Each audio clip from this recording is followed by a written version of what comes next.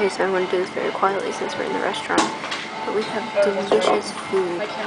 Um, Carolyn and I decided to both get the fatty tuna that we always hear so much about how delicious this is.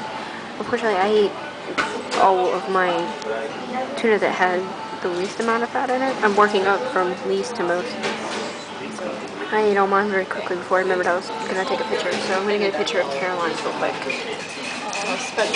This is Caroline's. The one on the far right back there is kind of a almost dark brownish red. That's the least. Caroline, I'm gonna get kind of pan in. Yeah, oh, You can see the ribbons of fat on that. Okay. The ones in the middle here, I almost dropped my camera into it.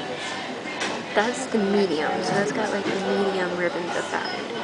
The one right here is supposed to be the one that has the most, and just the least was almost melting in my mouth. Their ginger is good, and when they make sushi here, they actually put a little bit of wasabi in the sushi to hold the uh, sushi onto the rice. I got some rice, and I got delicious miso.